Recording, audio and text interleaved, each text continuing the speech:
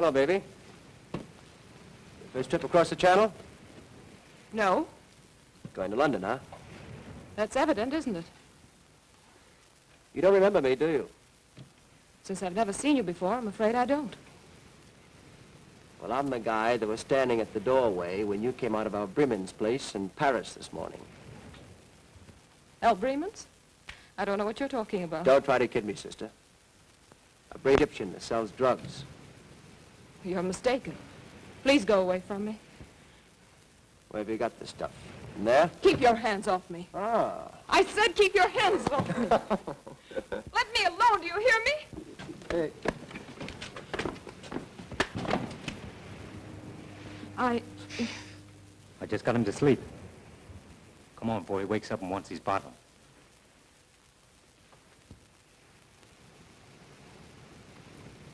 You made one of my fondest dreams come true. And what might that be? To rescue a lovely lady in distress. I'm so glad.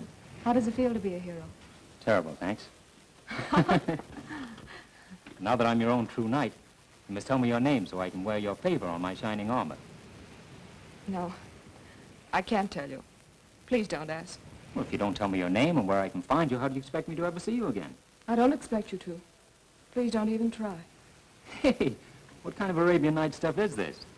Oh, I... I can't explain, but... Well, you're an American, and so am I. And that's all we can ever know about each other. Oh, I see.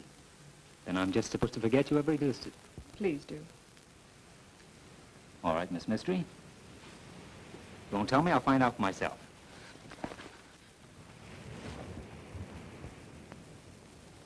When you make up your mind to anything, you don't fool around, do you? I'm sorry. Should have thrown me overboard instead of the bag.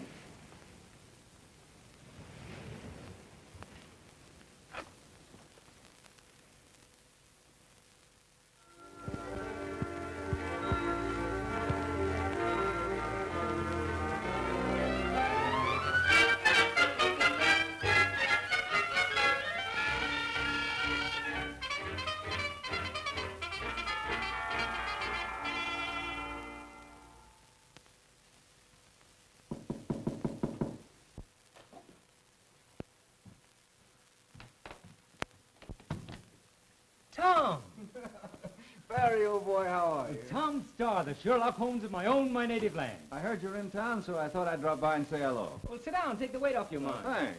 Gee, you Dick sure work fast. I haven't been in London an hour. I bet the ink isn't even dry on the hotel register downstairs. Well, then it's a little early to ask you how you like London. For the love of Pete, how did you find out I was here?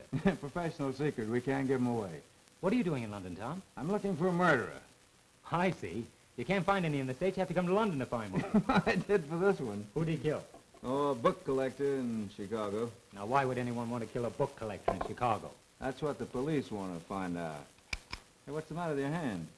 Oh, that, I bumped that against romance. Say, you ought to wear boxing gloves when you're globe-trotting. What happened? Oh, played hero coming over from Calais? I see. Same old story. Pretty girl, fresh guy, boom. Oh, no, no. She wouldn't even tell me her name.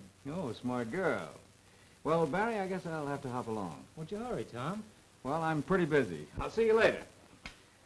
When are you leaving for the States? Not till I find that girl. Oh, is this thing serious? Oh, no, only I'm going to marry her. Oh, that's pretty serious. I wonder who else knows I'm in town. hmm, that girl of yours is a pretty fast worker. Ink isn't dry on the register and you're getting notes, huh? It's my lawyer named Coventry. oh, breach of promise suit already, huh? Now, how do you like this? He signs himself my obedient servant and commands me to come to his office tomorrow. well, good luck, Barry. Don't sign anything I wouldn't. I'll call you later, let you know where you can reach me. okay, let's get together soon, John. So long, old boy. So long.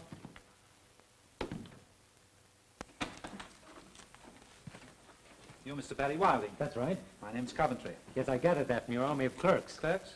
Uh, oh, yes, clerks. Yes, quite so. Uh, will you take a seat? Thank you.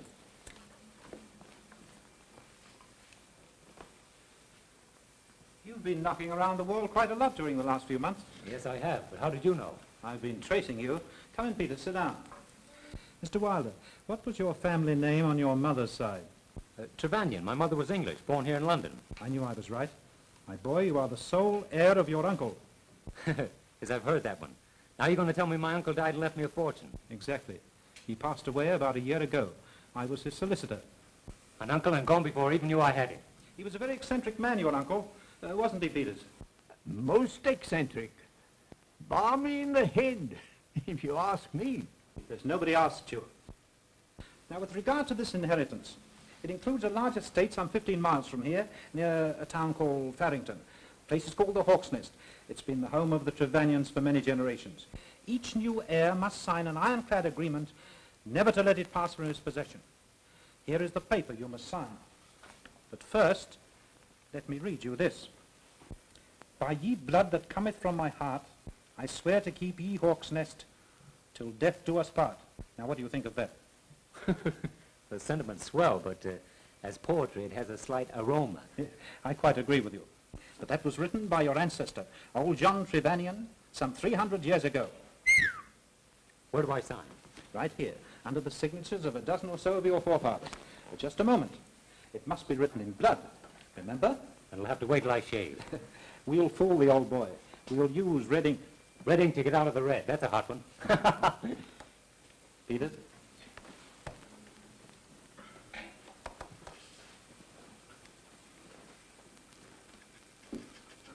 That will be all, Peter.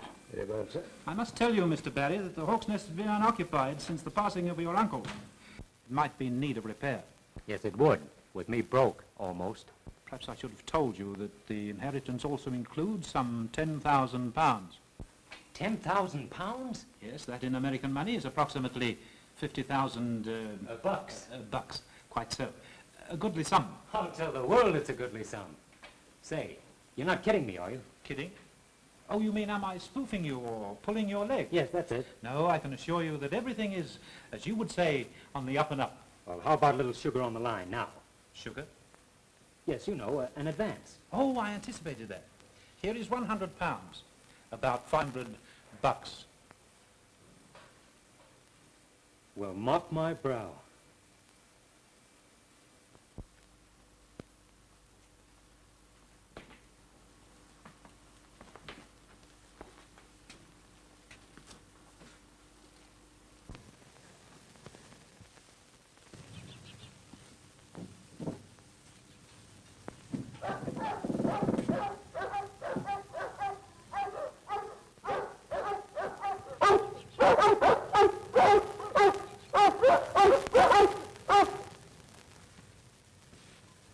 Hello, fellas. Say, I thought this place was vacant. Never mind the crooning now. Let's try and get along. I say, what are you doing in here? Be quiet. Will you get out of these grounds at once? Hey, who do you think you are? We shan't go into personality, sir. Get out. Listen, tough guy, it just happens I own this place. Will you get out of these grounds or shall I be compelled to throw you out? Neither. As lawful owner of this place, I intend to stay here. We'll see about that. Gregory!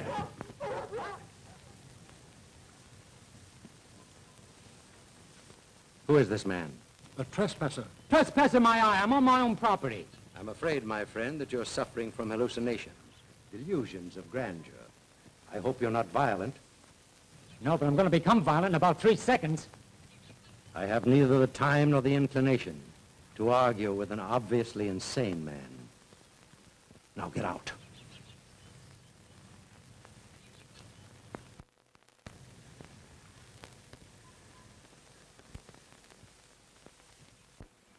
Calm yourself, my dear boy. You're behaving exactly like your late uncle. But it is my property, isn't it? There's absolutely no doubt of it. All right, then what burns me up is being driven off the place at the point of two dogs, a butler, and an old guy with a gun. But there must be some mistake. I'll have them vacate immediately. Coventry speaking. Of course, sir. He's right here. I'll inform him.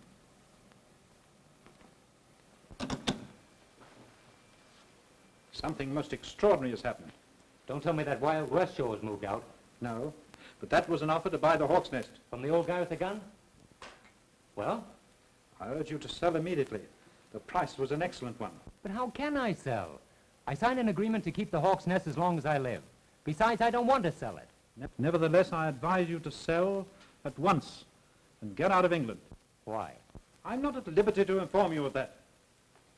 There's something very phony about this. Phony? Yes, and I think you're mixed up in it.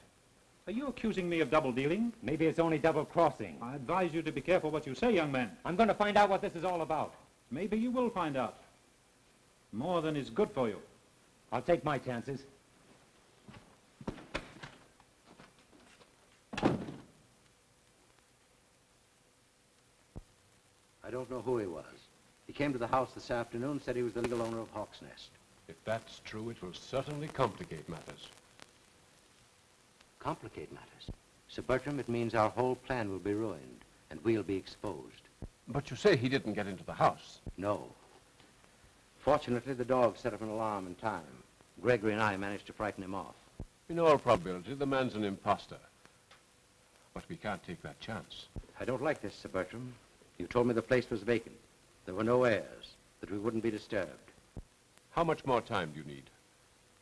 Two days, two months, I can't tell. But I feel I'm on the verge of definitely finding out one way or the other. We can't stop now. But certainly, Sir Bertram, as Home Secretary, you must have influence enough to keep the man away. You go back to the Hawk's Nest. I'll attend to him.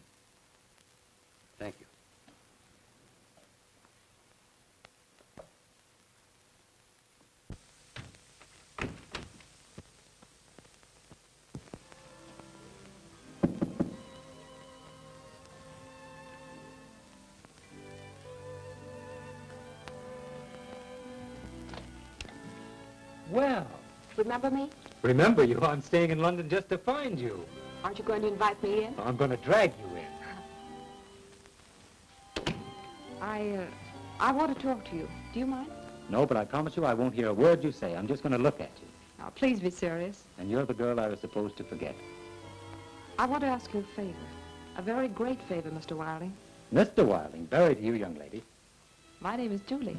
Julie Kenmore. Delighted to know you, Miss Kenmore. Uh, Julie. Will you sit down? Tell me, how'd you happen to know my name and where to find me? Well, you see, your lawyer, I, uh, Mr. Coventry? yes. The mystery thickens. But of course, about this favor, it's already granted. But you don't know what it is. Woman, anything, even to the half of my kingdom. Or the Hawk's Nest? The Hawk's Nest. What do you know about the Hawk's Nest? I'm living there. Say, I'm living there. with two ugly dogs, an ugly butler, and an old guy with a gun? Yes. The old guy with the gun is my father. Oh. Then perhaps it was you who wanted to buy the Hawk's Nest. I didn't know anyone wanted to buy it. Were you at home this afternoon when I called? Yes. You saw me?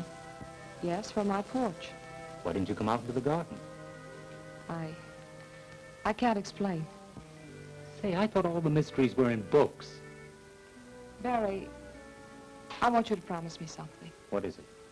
That you let my father and me stay at the Hawk's Nest for six months. If I had my way, you'd stay there forever. Thank you, Barry. And I'll come and see you every day. Oh, no. You must stay away until after we're gone. Stay away? Why? I... I can't tell you, but it's very important.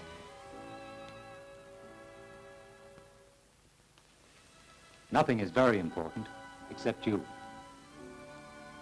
Please, Barry. I must go now. All right? But only until tomorrow.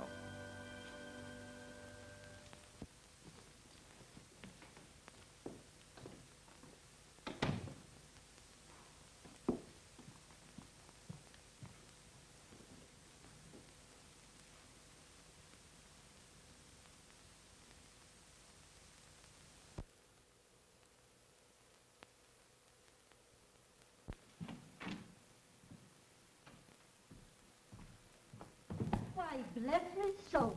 It's a gentleman who dropped in yesterday and had luncheon. Yes, and I can still taste it. What? I hope that's no infection on the cooking, sir. Oh, no, Mrs. Shipham. I meant it's so good I'm back for more. And you shall have it, sir. The fact is, I'd like to take a room. A room? Of course, sir. We'd be so happy to have you. Henry? Henry! Uh, now, sir, if you'd kindly sign the guest book. You'll have the loveliest room in the house. Uh, Henry? Henry, uh, this is our new guest. Uh, Mr. Wilding of New York. Me husband, Mr. Shepherd. How do you do? It's a great pleasure, sir. Uh, the Queen Anne Room, Henry. The Queen Anne Room, dearie? You heard me. Yes, dearie. Uh, this way, sir. Oh, never mind. I'll take this one, Mr. It's very kind of you, sir. Poor soul. It is arthritis. Oh, that's too bad. He calls it rheumatism, but I calls it arthritis. I likes to keep up to date.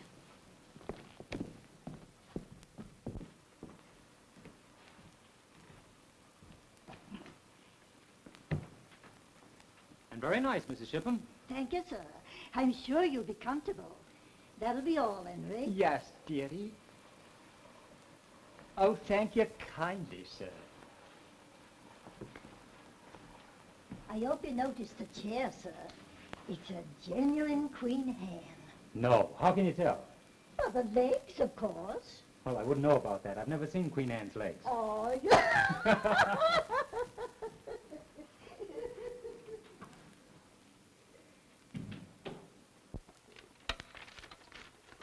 Get Mr. Coventry, the solicitor.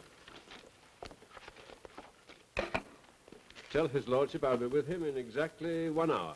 Very well, Sir Bertram. See that all the papers are in my portfolio. Yes, sir. Mr. Coventry, Evans speaking. Oh, Sir Bertram, I'm honored. Oh, I know that, sir. But he flatly refused to sell at any price. And I refuse to take no for an answer. I expect immediate results. Is that clear? I know, sir, but he, he's, he's entirely disappeared. I, I, I don't know where he is. Oh, very well. I'll take care of the matter in my own way.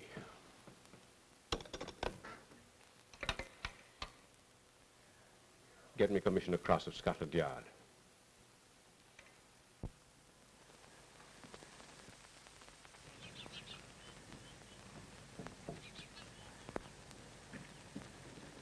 Barry, what are you doing here? Just coming to look over my castle. You must not come here. You promised you wouldn't. I promised nothing, excepting to let you stay here for six months. But don't you. Come on, sit down. I want to talk to you.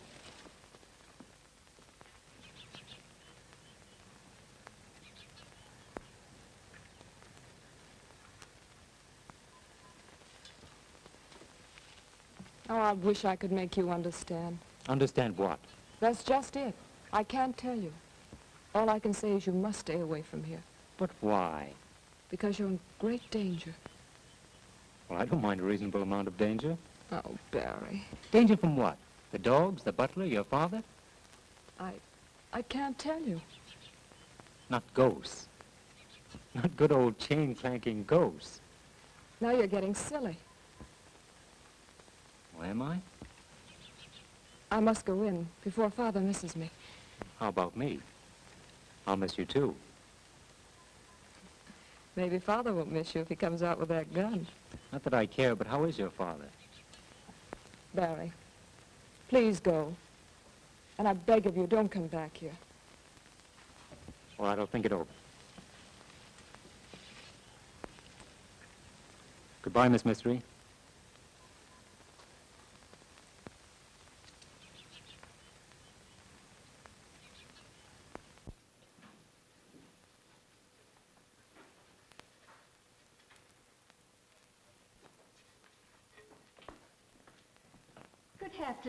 Good Wilding. I hope you had a pleasant stroll. Yes, very pleasant. Uh, Mrs. Shipham, do you happen to know anyone living around here by the name of Kenmore? No. Not around Farrington. I understood they were living at the Hawk's Nest. The Ox Nest? Nobody's at the Ox Nest, not since Mr. Trevelyan went to his reward. I must have been misinformed. Nobody would live there, sir. It's haunted. That's interesting.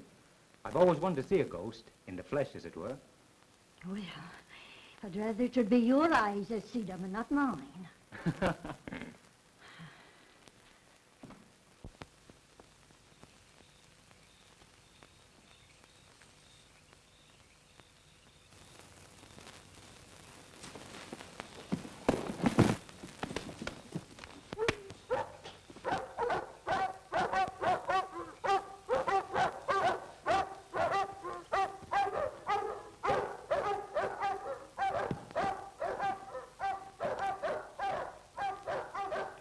Stay where you are. So it's you again. What are you doing here? Defending my own property. Don't start that again. I was coming to talk to you when this lug and his buddy jumped on me. The other one got away. A desperate, murderous type if I ever saw one. But I'll cure that. Except the missing finger, sir. Oh. I think that'll make him easier to handle. It's Julie. Find her.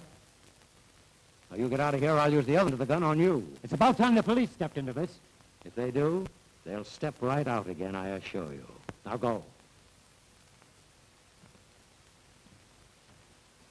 Bring him into the house. We'll be out of it in about five minutes. Or less. Who is that? A murderer, perhaps. Come, help me get ready. Dad. No, please. It would be an awful thing if we were found out.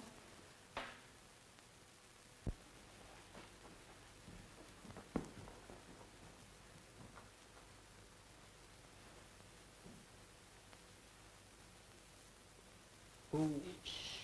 You're in great danger. You must leave before they return.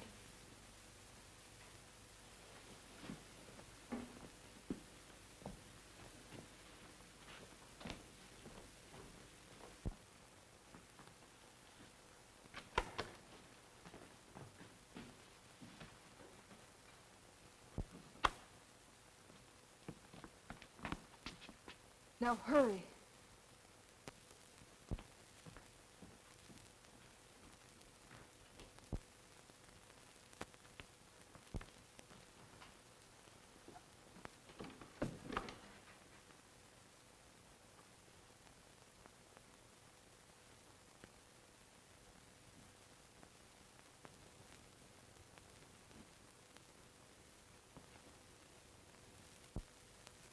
You guys want to see him, it'll cost you ten bucks. Not me. I wouldn't pay ten bucks to see an earthquake. Me either. It's all yours, Dan. I never saw a guy take the chances you do. Want to play another hand? No, I'm sick of this. I'm fed up with everything. I'm fed up with this town, and all I want to do is get back to New York. Me too. I got a notion to hop the next boat back to Brooklyn. Well, that's perfectly all right with me. I can handle this job alone. Listen, Dan, if we knew what this thing was all about, maybe we'd feel more like sticking. Yeah, like last night. I'd take a beating and you get knocked cold. If it hadn't been for that dame, they'd have slipped you the business. And what? And what do you care? I'm paying you good money for helping me, ain't I? You've been talking, Big Dough. Why don't you kick in with some of it? You play along with me, and you'll have more dough than you ever saw before in your lives. Say, you ain't fixing to pay us off with phony dough, are you? Not, not you hammerhead. Okay, let's have some action. What do we do next? We make another little call at the Hawk's Nest tonight. But you gotta work fast, so that Kenmore dame and her old man will beat us to it. Now, come on, let's play another little game, eh?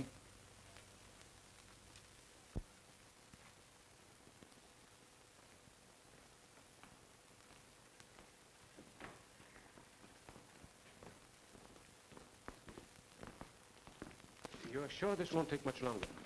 I can't be certain, but I feel we should know something very soon. I hope so. Because if my connection with this matter ever leaked out, I shudder to think of the consequences. I'm afraid it would be disastrous for us all.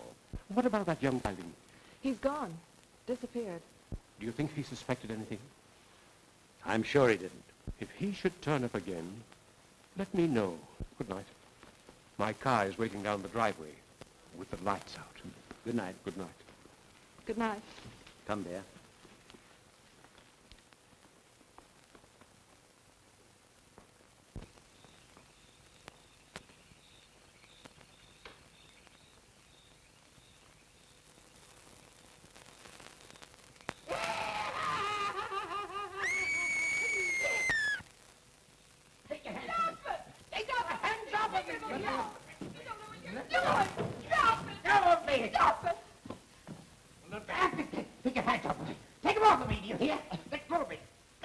Give me that. Help! Me!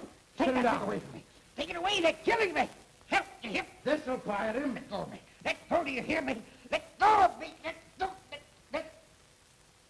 Let go. Take him back.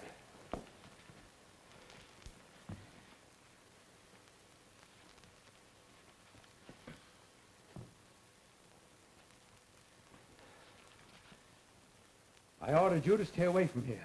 It's lucky for you I didn't take you seriously. You might not be here yourself. I don't need your help. Now, what you do needs a good poke in the nose. Barry, you don't understand. Gee, if anyone says that to me again, I'll do a swell imitation of that guy. Who is the poor fellow, anyhow? He, um, he's my brother. I'm treating him for a nervous disease. And the treatment consists of giving him shots in the arm and bouncing the butt end of a gun off his head, I imagine. You imagine too much.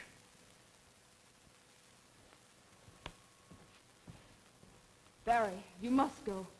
Sure. I'll go right to the police. And I'll even tell them that Sir Bertram's mixed up in this. How did you know? I saw him. I recognize him from his pictures in the paper. You mustn't tell anything. Why not? Oh, I see. It's something I don't understand. Yes. That's right, but I'm going to.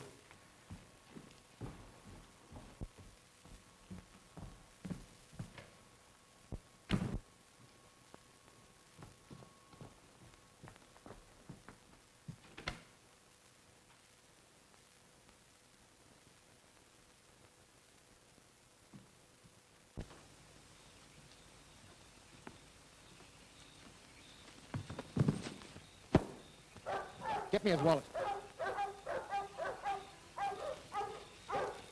It's not in the wallet. We knew what we were looking for. Maybe we could find it. Shut up. Come on.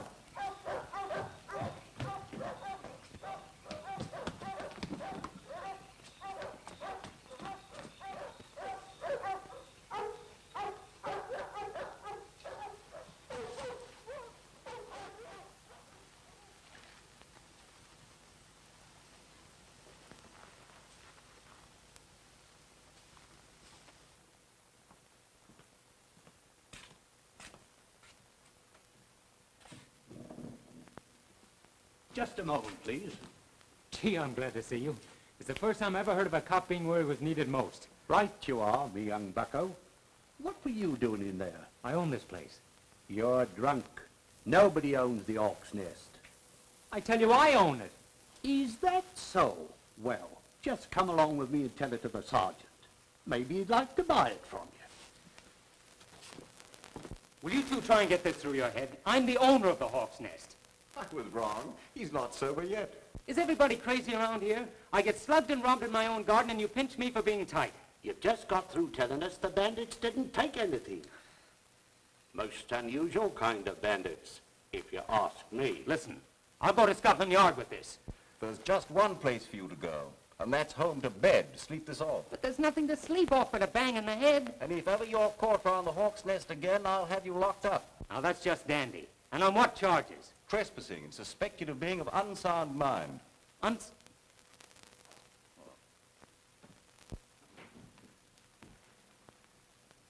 Been stepping out, huh? You don't know the half of it. How did you get in here? All locks are open to detectives, my friend. What new?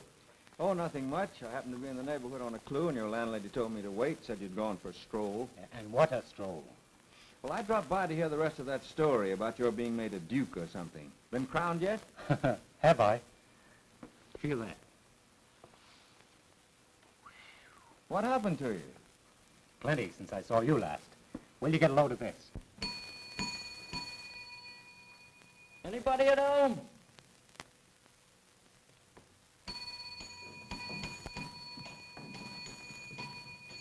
What are you trying to do, you young scamp? Wake up all the guests? Yes, I got a letter for him. Well, give it to me and be off with you.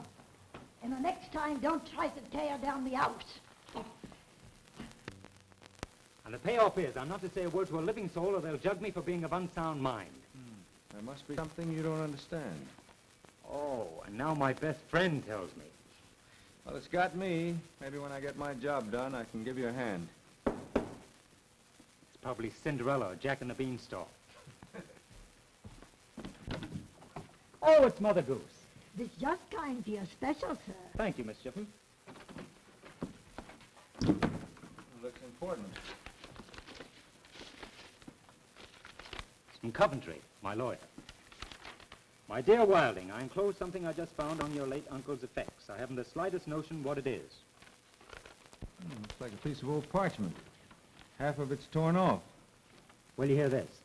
Incidentally, sir, you will be doing yourself a great service by selling the Hawk's Nest and returning to America.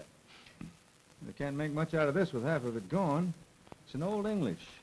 To my son, if need, top of ye great hall, fire and underwater, ye something Don Silvos. Hmm. Now, don't tell me it's signed by King Arthur. No, John something. Last name's torn off. Well, that'd be John Trevanion. He built the Hawk's Nest three centuries ago. Sounds like something out of Treasure Island. You know, more like John Trevanion doing his homework. Well, I wish I had time to help you go into that, Barry, but I got my own troubles. I'm sorry you can't stay, Tom. Yeah, so am I. See you later. That hang on to that might be important. Oh, sure. Yeah, maybe the key to a treasure hidden at Hawk's Nest. Uh-huh. And the girl and her father and a gang of thugs are trying to beat me to it. Yeah, that's exactly what I think. And I think you're touched in the head. No, no, that was you. Well, so long. Call me up.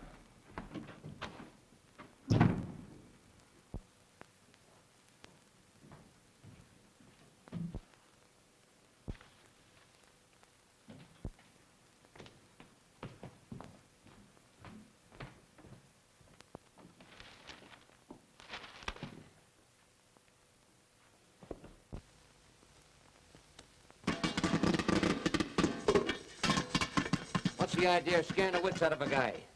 Well, I kind of got homesick for popcorn. It's a good thing I didn't let you have it. Can I help it because you got knives? You get that stuff already popped after this. Oh, popping it yourself is half the fun. Playing circus? Nope. Me and Jumpy just got a yen for popcorn. Well, forget it and listen to what I've got to say.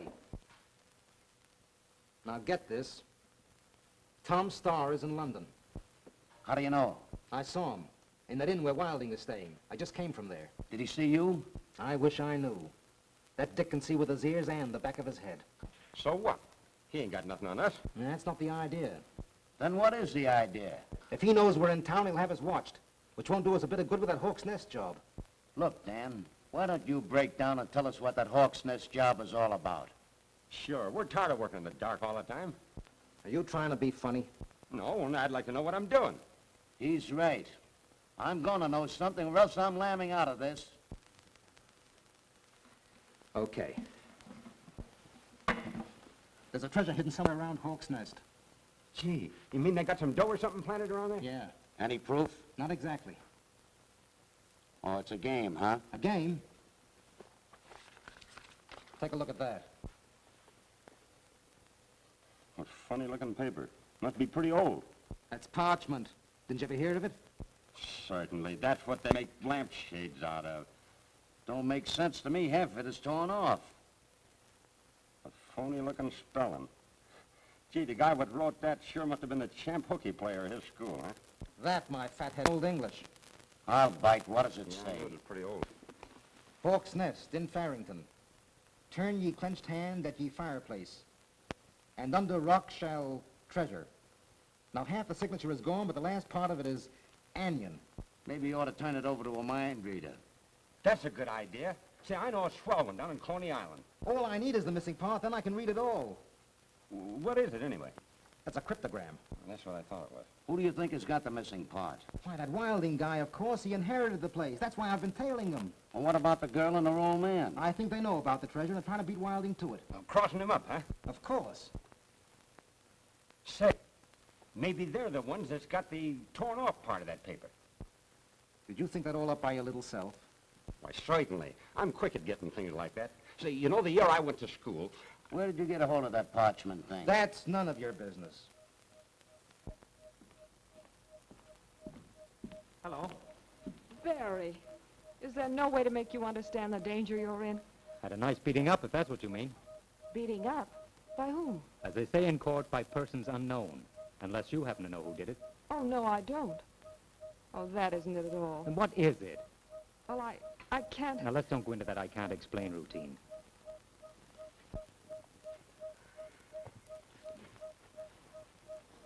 Barry Wilding, if something terrible happens to you here, it will be your own fault. I've done everything I can to warn you. Forget it. By the way, how are you getting on with your little treasure hunt? Quite well, thank you. Aren't you a little handicapped without the other half of the cryptogram? Yes, aren't you? Sure. But if I hadn't promised to let you stay in this house for six months, I could find it without any cryptogram. Aren't you kidding? Come on, stop acting. Let's each contribute a missing half, find the treasure, and split it 50-50. That would be a great idea if I knew what you were talking about. Oh, I see. I can't explain. You mustn't ask. Really, you, you, you don't understand. I think I better leave you to your jokes.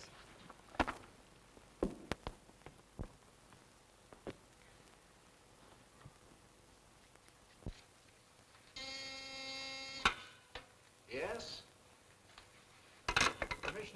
Commissioner Cross will see you now, Mr. Starr. Thank you.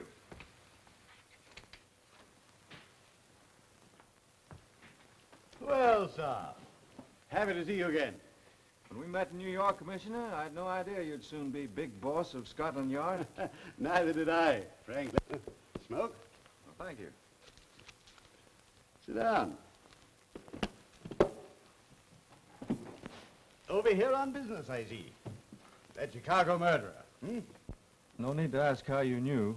Scotland Yard is always Scotland Yard, and no grass is allowed to grow on it. Thank you, sir. A fine compliment. And a good quip. Or a gag, you probably say. Need any help finding your murderer? Not yet. I came to talk to you about something else. It concerns a mysterious situation at a country estate called the Hawk's Nest. Tell me, Starr. You uh, still eat at that little fish and chips place near Times Square? Occasionally. Hawk's Nest was inherited by a friend of mine, Barry Wilding. Have you ever tried our fish and chips over here? Well, not yet. No. Now, this young fellow was slugged while on his own premises, and then warned to keep away or... Gosh, the wild tale of an imaginative kid who wants to be a hero. Oh, no, Commissioner. This is the truth. Well, what do you want me to do about it? Well, investigate. I think that place is headquarters for a gang of crooks. Nonsense. Suppose I told you that Sir Bertram was seen there under very suspicious circumstances. I should say you're stark raving mad. Well, I'm getting mad, but not the way you mean. Starr, I advise you to confine your attention to your murderer. If that's the way you feel about it, I'll blow this case wide open myself. That is the case. And I warn you, if you try to meddle, you'll find yourself back in America without your murderer. I think you're shielding a gang of crooks. Good day, sir. And what's more, I'll go to the American ambassador about this, and we'll see. said good day, sir. And I suggest that you watch your step. Good day, Commissioner.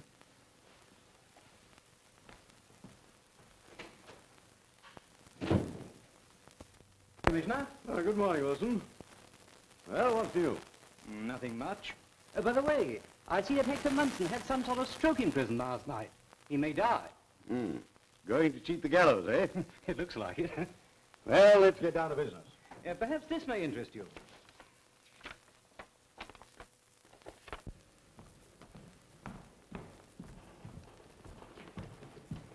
What time? I don't know exactly. I wish I could go in your place. Oh, for goodness sakes, Dad, stop worrying. London's only 15 miles away. Here's the stuff I need. Tell them to make a double strength this time. Never can tell what might happen. All right. Be sure no one sees you go in or come out. You'll be all right, won't you? Of course. Gregory and I can handle the situation. I'll take the path through the woods, so I won't be seen leaving here. Good idea. Bye, Dad. Be seeing you.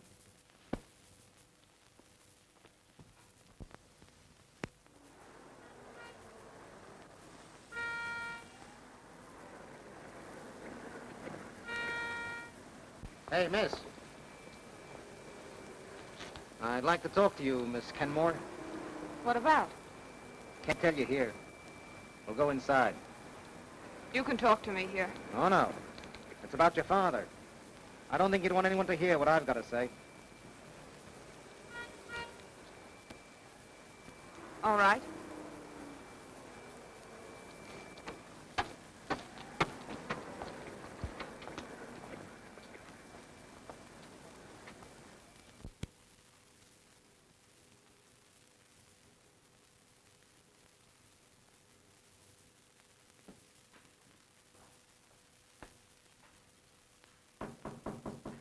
Come in.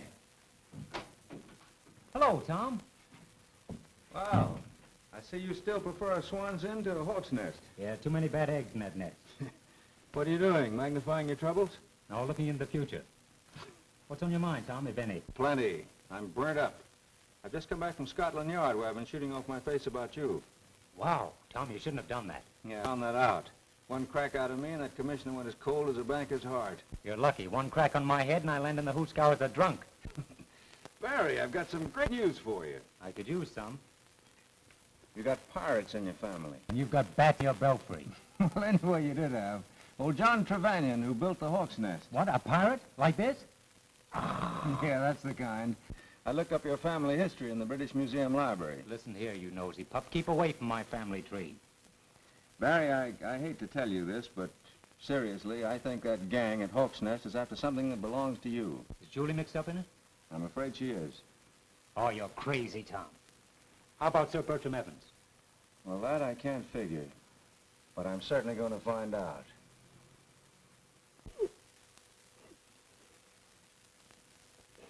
But just what did he say? It wasn't what he said.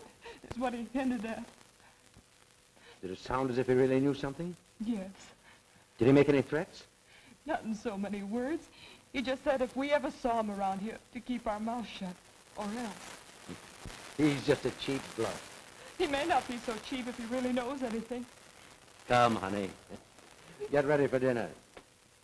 We'll think of some means to take care of him.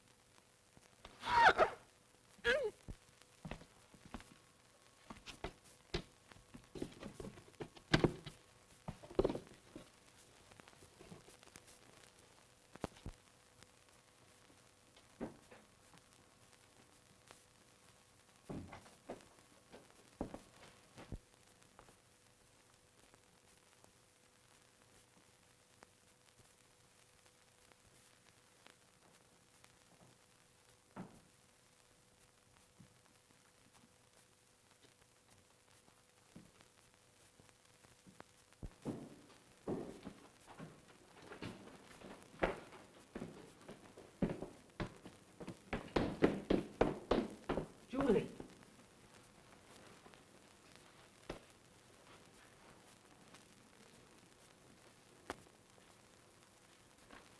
Julie, what happened? Who did it? Oh, I don't know. Please take me back upstairs.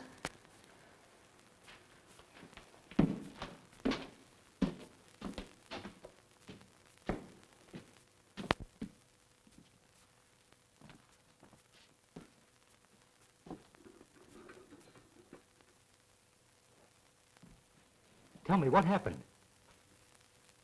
I was awakened by something, and I slipped down here into the living room.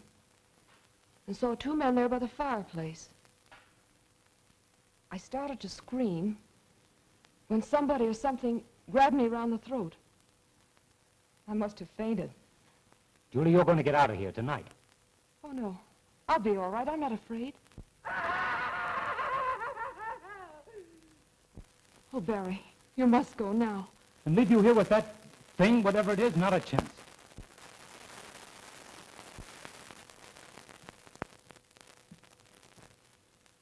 What's he doing here again? He had a nightmare. Imagined I was in danger and forced himself in. But Julie! I don't intend to warn you again.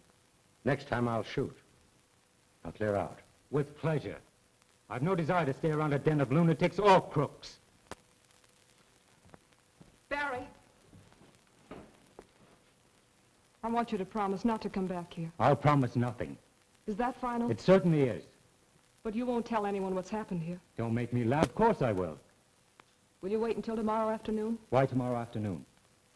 Meet me in the garden where you saw me yesterday. I'll explain. All right, I'll be there.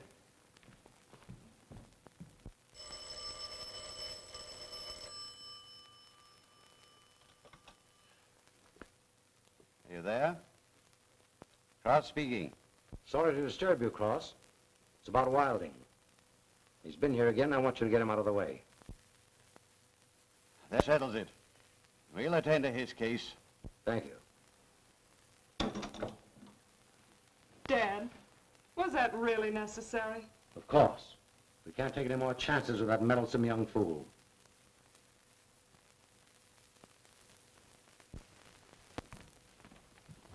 I've bad news for you, sir. Yeah, you're just the top. Miss Julie asked me to tell you she couldn't meet you here, sir. Well, why not? She's ill. Oh, I'm sorry. Is that all she said? You're to come to the house to see her. After her old man promised to shoot me? Oh, that's a laugh. She said to tell you her father's in his room and won't disturb you. On my word, sir, I'm telling you the truth. Well, there's only one way to find out. Oh, no. You go first.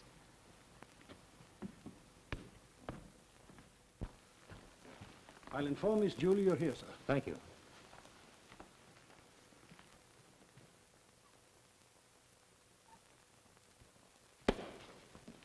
Well, I found out. I walked right into it, didn't I? Congratulations, Miss Kenmore. And to you too, sir. You'll pardon me if I don't shake hands on it. Take him upstairs and lock him up. Very well, sir.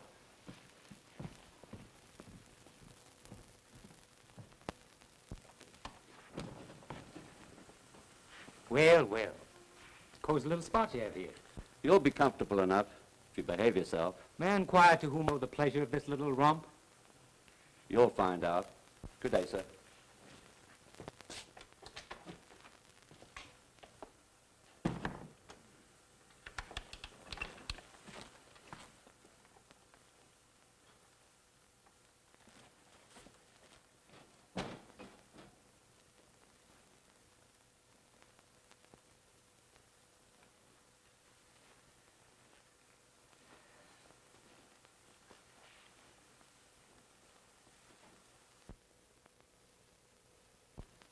Well, there it is. Gee, Dan, nothing can stop us now, huh? I hope not. Let me take a gander at that thing. To my sonny at Hawk's Nesty. If ye needy arise, tourney ye clinched handy at ye toppy. Nice talk. Here, give me that. Hey, Jumpy, we found the other part of that crippled gam. Where'd you find it? In his wallet, laying at the bottom of those steps where he found the dame. Well, now that we know about the underground tunnel coming in from the outside, it should be a cinch. it sure was a break finding that subway, huh? Or we'd be down there yet.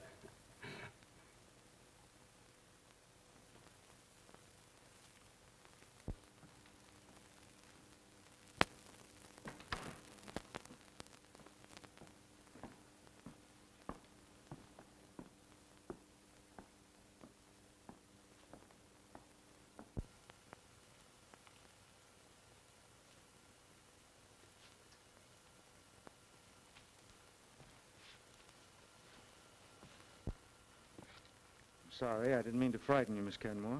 Who are you? I'm Tom Starr, a friend of Barry's. Oh, yes. You're the detective. Barry's told me about you. I see here, Miss Kenmore.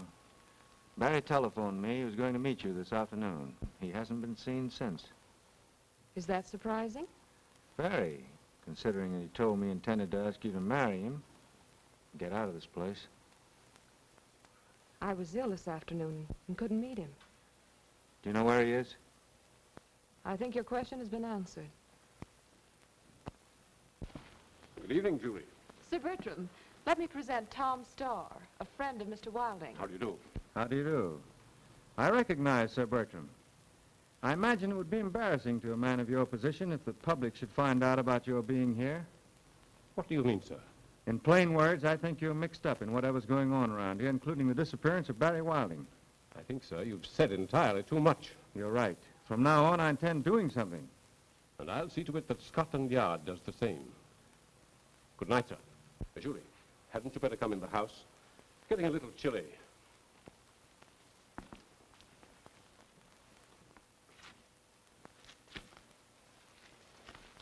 I'll trouble you to put your hands in the air, Mr. Starr.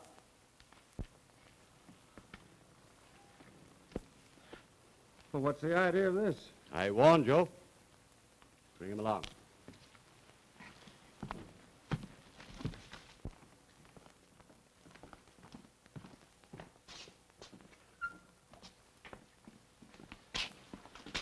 For a commissioner of Scotland Yard, you're certainly making a fine mess of things. You'd taken my advice, Starr, this wouldn't have happened.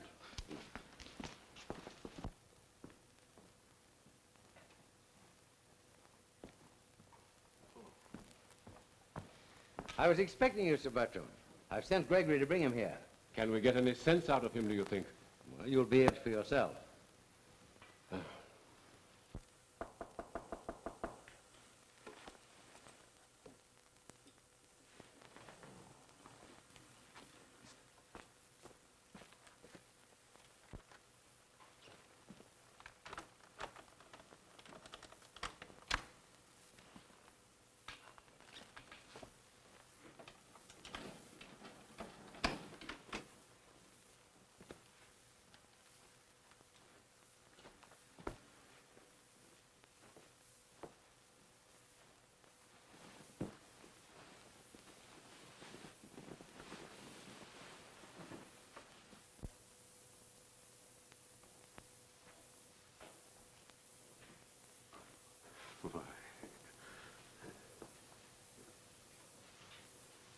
Don't you know me, old fellow?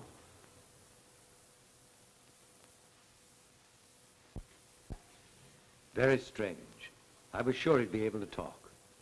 Not much progress here. Oh, but there has been. A great deal. Although he still has these lapses, they're becoming more infrequent. I think I'd better come back tomorrow night. No, please wait a few minutes. He may snap out of it.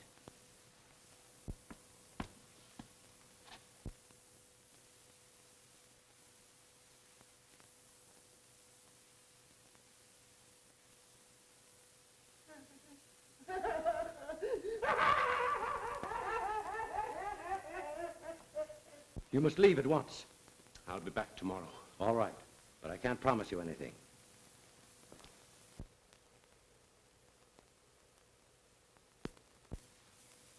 That'll be all. Very good, sir. Good morning, Sir Bertram. You're looking a little dragged out. Yes. I shall be glad when it's over. I realize this whole affair has been a great strain on you. And still is. It's a bad job that young fellow Wilding and his detective friend got into this. Yes. I live in constant dread of discovery. Well, I see by the Times that Hector Munson died last night. Well, that's one way to elude the gallows. It's a very pathetic case. Good morning. I wouldn't know. Good morning. You've met Sir Bertram Evans. Yes, I have. Good morning, so I hear. what is this all about? Gentlemen, aren't you being a bit childish? Uh, Mr. Starr, I am fully aware of your great ability and high standing as a police officer in America. Thank you, Sir Bertram. The Commissioner and I have decided to give you a complete explanation of what must seem to be A very extraordinary and unsavory affair. Well, that certainly might help. But first, I want your word of honor that you will respect our confidence. You have it. Please go on. Well, in the first place, you no doubt remember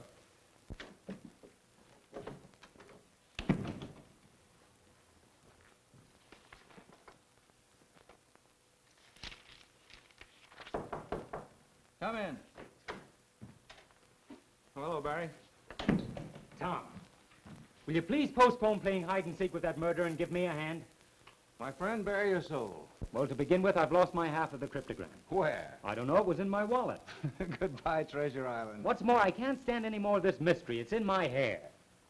Barry, why don't you sell the Hawk's Nest, forget all this business, and go home? Well, look who's talking. After the way you were all hopped up about finding a treasure? Oh, well, that was Huey. You certainly changed your tune quick. What's come over you? A wave of common sense, maybe. You never can tell. And you won't help me? No, I'm going to nab that killer and go home. Hey, who is this murderer, anyhow? His name is Dan Wharton, sometimes called Three-Fingered Dan. Three? Hey, that's funny. One of those baboons that's been shoving me around has only three fingers. Are you sure of that? Well, yes, I saw him. Dan Wharton, cryptogram, Chicago book collector. Great jump. I got it. So your mind isn't giving way, is it? No, no, it's been AWOL. It's just coming back. You don't tell me. I tell you, I've got it. If it's cops and robbers, can't I play too? No, no, you haven't got a gun. Oh, yes, I have over at the inn. Be a good fellow and scram. Where, where are you going? I'm going to kill two birds with one stone. You mean three fingers with one bullet? Well, call me tomorrow. Yes, and that's not all I'll call you. So long.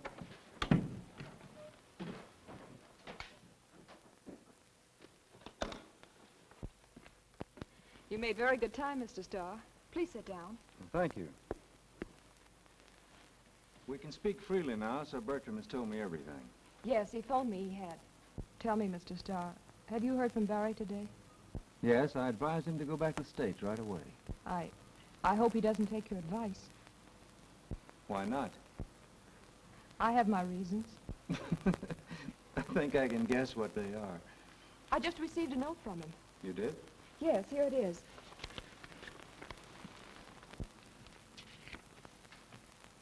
Value life, do not remain at Hawk's Nest tonight. Barry Wilding. Barry didn't write that, but I think I know who did. Who? The man I'm looking for. I think he's coming here tonight and wants you out of the way. Well, I intend to stay here, regardless of who sent it. All right. Now, I'll tell you why I'm here. Will you put me up for the night? Of course. I don't want anyone to know, not even your own father. I can arrange that. Good. I have my reasons. Shall we go?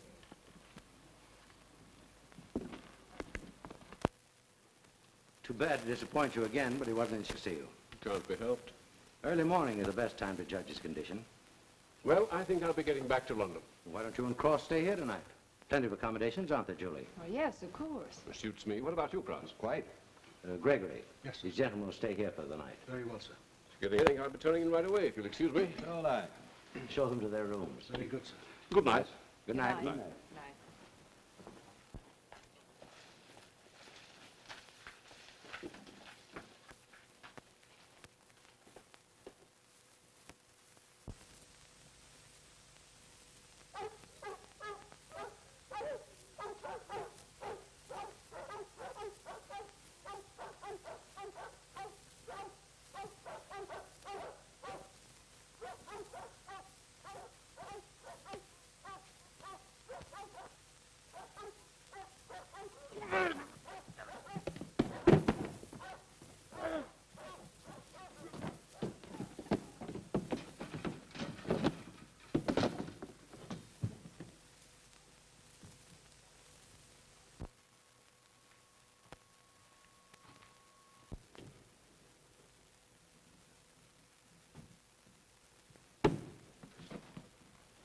Listen, you guys. Now we can round up the others and take them down there, one at a time.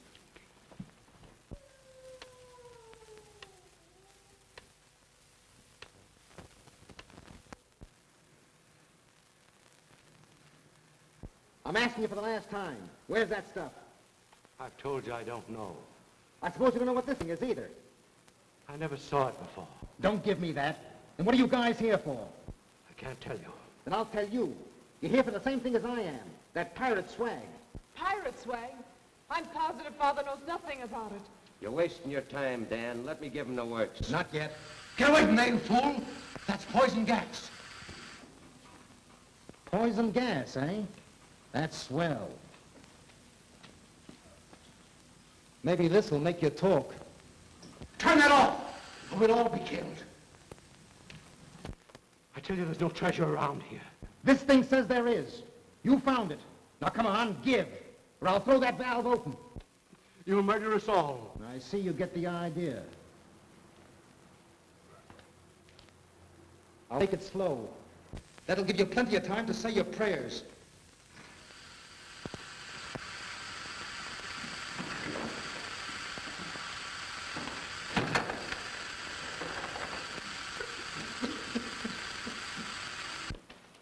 Well, this says the swag is down here somewhere. All right, you guys, start digging. Where? Over there. We'll dig up this whole place if we have to.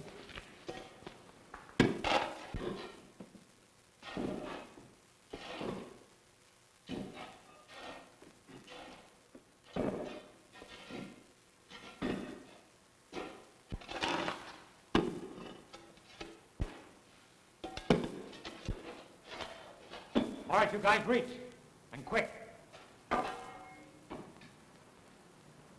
Line up and face the wall. Come on, get going.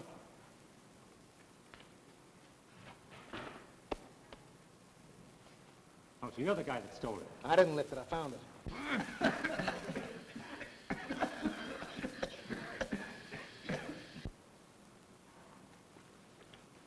All right, now where's the girl? In the next room.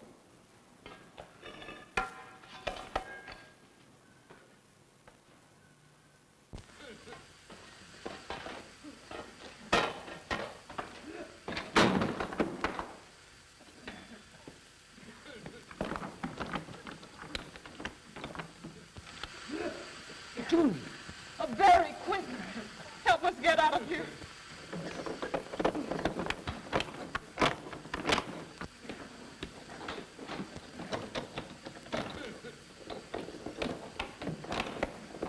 Stay where you are. Get away from that door. That's, that's poison gas in there. Julie and the others are locked in there and the door's padlocked. Here, let me help you. The gas in that other tank would destroy the poison instantly if we could only get in there. I'll fix that.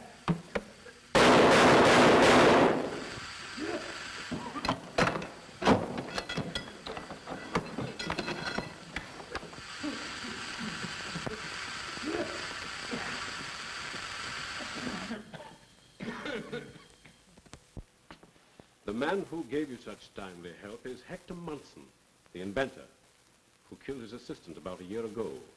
I read in the paper where Hector Munson died in prison last night. I arranged those stories. You see, Wilding, Hector Munson and I had been great friends for many years. When he committed the crime, I was quite sure that his mind had broken down under the strain of his work, that he killed the man in an insane moment. And I shared that belief. I also knew he was about to complete a formula which would instantly destroy all poison gas. Oh, I'm beginning to see. I determined that the world must not be deprived of a discovery which would save thousands, even millions of lives. So I understand. With Cross's help, I had Munson secretly removed from prison and placed under the care of Dr. Kenmore here. Dr. Kenmore? Yes. The world's foremost specialist in mental cases. You see, Barry, the Hawk's Nest seemed an ideal place to work. It was vacant and without an owner. At least so we thought. Under Dr. Kenmore's skill, Munson has not only gradually recovered his mind with occasional lapses, but also completed his discovery, which will be Hector Munson's gift to England and to the world. We all apologize, Barry, for being a little uh, severe at times. we merely tried to frighten you away until uh, Munson could be moved to my sanitarium. But aren't you on the spot, Sir Bertram, in explaining all this to the public? Oh, I'm quite sure Cross and I will have no difficulty in justifying our action. We only did what we were convinced was our patriotic duty. And incidentally enabled me to do mine, nabbing Three-Fingered Dan and his little playmates. Thanks to you, Barry, Sing Sing can celebrate the return of its charming treasures. Oh, speaking of treasure, that reminds me. Barry, let's see that cryptogram. Hmm? There it is. Yes, we ought to be able to solve that thing. Well, listen. If need arise, turn ye clenched hand at top of ye fireplace. Come on, let's have some fun.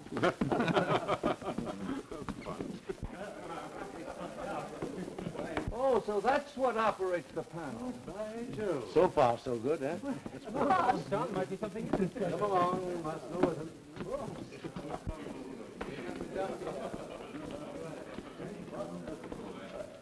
Gee, wouldn't it be funny if we did find a treasure? Yeah, think of the income tax I'd have to pay. Well, let's see. It says under fire. Perhaps it means a fireplace. We're right under it. And under rock. That must mean under the ground.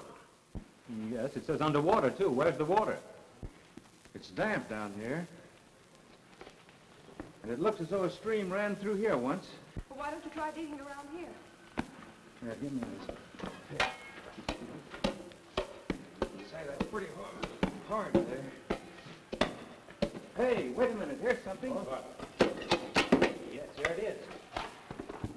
Well, look, look at that. Get your hand. Give us a hand. There we go. There. Why, Well- box. Richard Barry? Well, Look.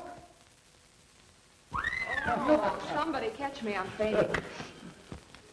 Oh, Barry, what are you going to do with your treasure? I'm going to marry her.